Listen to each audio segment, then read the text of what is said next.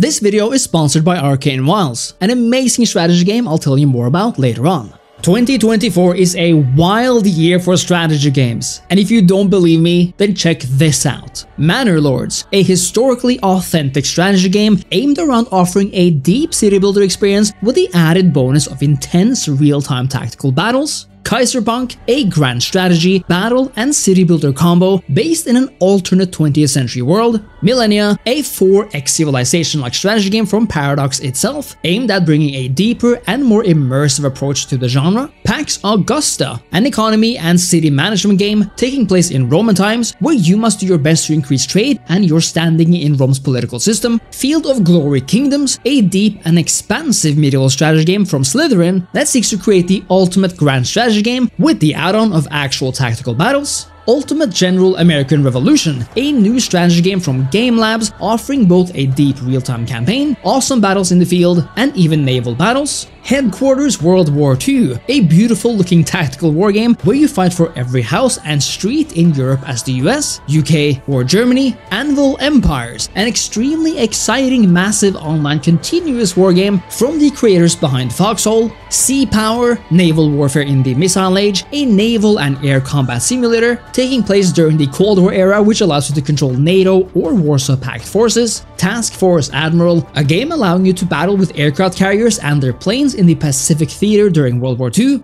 Gilded Destiny, an indie grand strategy game that approaches the Victorian era in a new and alternative way, Stellaris Nexus, a new take on Stellaris from Paradox, which technically is out this December, Falling Frontier, a deep and expansive space strategy game where you need to build your fleet and traverse a vast universe, Nova Roma, a wholesome and fresh take on the city building genre taking place in ancient Rome, Celestial Empire, what looks to be a city and trade development game in a somewhat mythical ancient China, Men of War 2, the latest title in the Men of War series, offering action-packed and historically accurate features and battles, Frostpunk 2, the long-anticipated sequel to Frostpunk, which takes place in a frozen post-apocalyptic world, Capital Command, a space strategy sandbox game giving you control of capital ships with more or less realistic space battles, Terminator Dark Fate Defiance, a real-time strategy game set in the Terminator universe between humanity and Legion, Homeworld 3, a real-time space battle strategy game in this legendary series finally set to release, Ara History Untold, a new civilization-like strategy game set to go even deeper with a unique and more personal look, Broken Arrow, a large-scale, modern, real-time tactics war game with awesome graphics and massive variety, Espiocracy, a fresh take on the grand strategy genre, focusing on espionage and intrigue during the Cold War, Tempest Rising, a modern take on the classic RTS game with distinct command and conquer vibes and beautiful graphics. And finally, I wanted to include Qubiquest Castlecraft, a unique looking tower defense game that just looks like a whole lot of fun. With so many titles, I hope I've got your attention. But what I didn't show you is a strategy game I've praised on this channel before, one that's already available to play and getting better by the day, Arcane Wilds. Arcane Wilds is a real-time strategy game set in a mythical depiction of a 19th century new world, where you get to take control of various armies you can tailor to your own liking. Being an RTS game, you have the classic formula of building your base and creating your settlement and army. But more than that, it's the game's dedication to cooperative multiplayer gameplay. You get to build up your base on your own home island, from where you head out into missions, either in single player or online with friends. Now you must make sure to collect the Power Essence resource to give your units an edge in the field. But a big thing in Arcane Wilds is that resources can actually be stolen in real time from your enemies and by your enemies, meaning you must take care to guard your resources until you've collected and deposited them, and be on the lookout for raiding opportunities yourself wrapped in some absolutely charming visuals as well, and offering a host of different missions, I highly recommend you download Arcane Wilds right now, which is currently in a free open playtest on Steam. And don't worry, the game has no microtransactions either, so you just get to play and enjoy a really fun game for free. So go check out Arcane Wilds playtest now, and thank you so much to Avancadia for sponsoring this video. Our first game is Manor Lords, perhaps the most anticipated strategy game in the world at the moment, not least of all because of its ranking as the number 4th most wishlisted game on the entirety of Steam. And it's not for nothing. Manor Lords is a medieval, realistic, and very historically accurate looking city building game, but one that also combines it with real-time tactical battles. This should be intriguing to most strategy players out there, especially those who love history. But what's so unique about Manor Lords seems to be its approach. The game is offering a stylish and modern UI, yet visuals that look realistic and beautiful. Nothing is really out of place here, and there are no bombastic fairytale castles or dragons. It's all fairly small scale and organic, meaning you need to work for your achievements. You must manage population growth and resource gains with the recruitment of levies and soldiers, and what's fascinating is that your armies are all or mostly made up of your citizenry, meaning losing people in a war will impact your economy and life at home.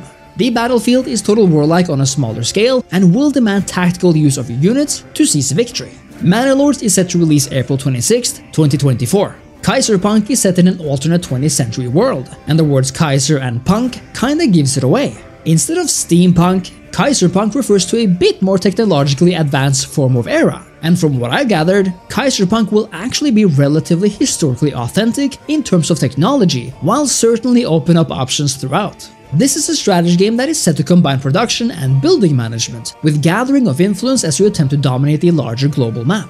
Everything goes on in your city-state, and it's from there, the production and resource gathering on a close-up level, that you further your empire. In other words, Kaiserpunk combines grand strategy with an overworld map, with production chains, logistics, and even battles on the field, with new technology giving you an edge as you play. There's not a whole ton we've seen from the game yet, but this does sound promising, and I'm excited to see and hear more from Kaiserpunk before it releases sometime in 2024. Now on to Millennia, which I have to say was a surprise announcement from Paradox in my opinion. Millennia is a new type of game from that company to be sure, but not a new concept on its own. Millennia is a historical turn-based 4X strategy game in the style of Civilization and arguably Age of Wonder, which also follows the same style. Here, you'll be taking control of a human civilization on its way from dawn of humanity into various possible futures, raising cities, researching new innovations, and tailoring your people to your liking. Managing your economy and war machine will be vital for victory, and so will choosing your national spirits, essentially one of the ways Millennia allows you to tailor your faction and civilization. It will be interesting to see how different Millennia plays and feels when it likely arrives sometime in 2024. Pax Augusta is said to be a realistic ancient city builder, perhaps even the most realistic one as the game itself states. In fact, the game has made use of historians, archaeologists, and other experts to make sure buildings are recreated accurately and to scale. But authenticity isn't the only selling point here. Pax Augusta takes place in an era where Rome is ascendant and is entirely focused on cultivating the land, improving the economy, and the lives of the people within. In Pax Augusta, you'll be given the proverbial patch of dirt and must then do your best to build a new city, which then turn into several cities over a massive map from Britannia to Dacia. You'll also need to deal with managing defenses and the impact of distant wars, to one day hope to become an important senator or perhaps even emperor yourself. There is much more to learn about Pax Augusta as we approach release, I'm sure, but for now, I'm really excited for this game and can't wait to play it myself when it releases sometime in 2024. Field of Glory Kingdoms is the next game in the Field of Glory Grand Strategy series, and this time takes place in the medieval era. The reason why I'm so excited for this is because I'm always up for a new medieval grand strategy game, and this one seems particularly deep with various mechanics related to immerse you into the time period, like authority and disorder, dynasties, and the meaningful transitions of power, religions, population mechanics, a deep warfare system where units matter, and very importantly, a cool integration with Field of Glory 2 Medieval, which means that what's on offer here is a combined turn-based grand campaign with deep, turn-based tactical historically authentic battles, which we already know are awesome to play because the battle part of this game is already out. From what I've seen, I'm also a big fan of the graphics and visuals here, and I just can't wait to see what Ageod are cooking up for perhaps our next favorite medieval strategy game likely to release sometime in 2024. Ultimate General American Revolution is one of the most interesting and ambitious strategy games I've seen in a while, and that's on top of being an indie game developed by just a handful of people. This game unsurprisingly takes place during the American Revolutionary War, and combines a real-time strategy campaign that even opens up and expands over time with actual real-time battles on the field, where your armies meet in a similar style to Total War, while also managing to implement a naval battle system on top of everything else. I've already played this game and the video can be seen right here on the channel, and in fact, you can play this game right now if you wish to participate on the early access version on the Sola platform. But if you want to wait for the Steam release and many new and updated features, including a unique British campaign, then you better wait for the game's Steam release, which is likely to arrive sometime in the middle of 2024. Headquarters World War II is a deep and detailed turn-based strategy game set during World War II in Europe, and allows you to take control of infantry and vehicles to dominate the battlefield. With varied maps, army management and experience systems, and importantly, a focus on tactics and highly realistic unit management. What just looks extra cool to me here are those beautiful visuals, which I feel is partially what's been lacking in certain games of this time but Headquarters World War II looks like a focused but fun strategy game I'll be looking out for in 2024, and if you love World War II and want the variety of taking control of the various armies of the USA, UK, or Germany, then look out for this game in 2024. Anvil Empires is one of the most unique strategy games on this list, as it does something completely innovative just like its spiritual predecessor, Foxhole. This is a medieval, massively multiplayer game, featuring literally thousands of players in the same space to fight in epic sieges and field battles, keeping your army supplied, and to build and prepare for war together. Everything happens in the same space and seamless over time. In other words, this is a persistent online world in a literal sandbox space. You'll even be able to build towns, fortifications, and cities together over time. And I just have to say how beautiful and awesome this game looks. This is a true gem to look forward and pay attention to when it hopefully releases in 2024. Sea-powered naval warfare in the Missile Age is definitely looking interesting, especially if you're into combined naval and air wars. First of all, take a look at how awesome this game looks. They share visual fidelity not just of the carefully crafted ships that look absolutely towering, but of the finely tailored aircrafts, and of the seas themselves of course, which give the entire game a realistic and full look. Sea Power takes place during the Cold War, and you get to play and take control of various forces both in the NATO and Warsaw Pact alliances. The game will include a dynamic campaign, historical and fictional scenarios, several theaters around the world, real-time combat with advanced flight and ship physics and mechanics, and so much more including dynamic time of day cycles, the ability to save wherever and whenever you are, and to adjust the speed of the game, meaning you can pause or likely slow down time. Sea power naval warfare in the Missile Age looks super promising, which is why I think you should add this game to your list for when it releases in 2024. Task Force Admiral similarly offers combined naval and air warfare from the same publisher actually, but from a different developer, and it does so in a different time period and with a different approach. This game takes place during World War II and the Pacific Theater, allowing you to duke it out between America and Japan and experience these intense dogfights and aircraft carriers battle on a grand scale. You can even do so using first person, God's Eye, or a more dynamic perspective of the action, with a ton of customization options, a large number of vehicles carefully crafted, and so much more. And again, everything looking beautiful. Just like Sea Power, I'm really excited to see more of Task Force Admiral when it hopefully releases in 2024. Gilded Destiny is another indie take on the grand strategy genre, and one that looks very interesting. Instead of offering just a laid out map, Gilded Destiny provides us with a full globe to manage the world with, but even allows you to zoom down and check out the landscape and your cities developing. Gilded Destiny looks like a true passion project from real 19th century and strategy enthusiasts that seeks to combine that high upper tier level with warfare and army management, diplomacy, and many other aspects of this period, like government administration and the formation of new nations and governments. Gilded Destiny is currently in development, but I think it's allowed to at least hope and pray for a 2024 release at some point during the year. Stellaris Nexus, a game that releases in early access this December in fact, is a new take on Paradox's Stellaris. Nexus then is a simultaneous turn-based multiplayer 4X game that seeks to be a bit more fast-paced and even action-oriented. In fact, it sets out to be a lot more approachable and player-friendly, allowing you to play full Stellaris campaigns with government management and warfare and diplomacy that lasts around the span of one hour. I think this approach to Stellaris and strategy can be super fun actually, and I do like the concept. So if you want to get into Stellaris but need a bit of jolt to do so, then Stellaris Nexus might just be the place to start alongside your friends, either this December or in 2024. Falling Frontier is one of the coolest upcoming space strategy games I've ever seen. Taking place in a massive procedurally generated star system, Falling Frontier is gorgeous from those hyper-detailed spaceships and stations, both of which you must use to gather resources, customize your outposts and ships, set up trade networks, conduct diplomacy and to build your empire, to the beautiful planets and system maps themselves, revealing yet another indie game that despite being made by a very small team, oozes with passion, dedication, and devotion to the craft and genre.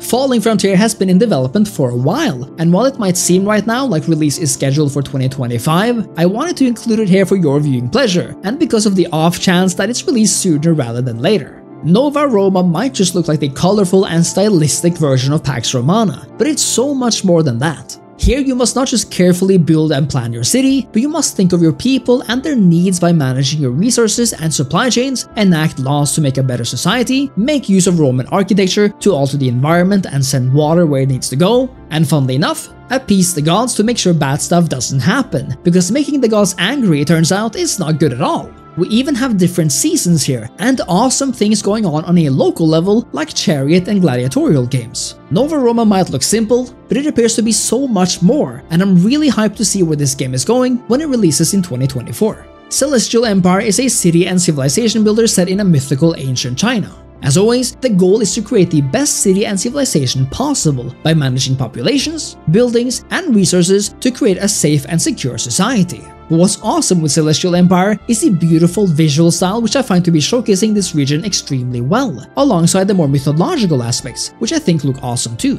It's also vital to properly deal with the harsh winters, events, and possible diseases that might inflict your people. In other words, the challenges are multifaceted here, and I'm excited to deal with the trading system and whatever else the game has to offer when it is set to release in 2024. Men of War 2 is the latest entry in the Men of War series, offering real-time tactical battles set during World War II. The game offers new units, locations, new campaigns, and new game modes, with every vehicle, infantry unit, battlefield, and system being as historically authentic and accurate as possible, while also allowing for an action-packed tactical experience, both online and in single player. Men of War 2 will offer a story mode that features both a Western Allies and Soviet campaign in their fight against the Axis powers. But no matter where you're fighting, Men of War 2 offers combined infantry, vehicle, and air force combat, and now with full mod support. Men of War 2 is set to launch in 2024, and I'm excited to see how it's gonna play when it does. Frostpunk 2 has been a long time coming, and even though we don't have a set release date yet, it's now been so many years that I believe 2024 will be the year.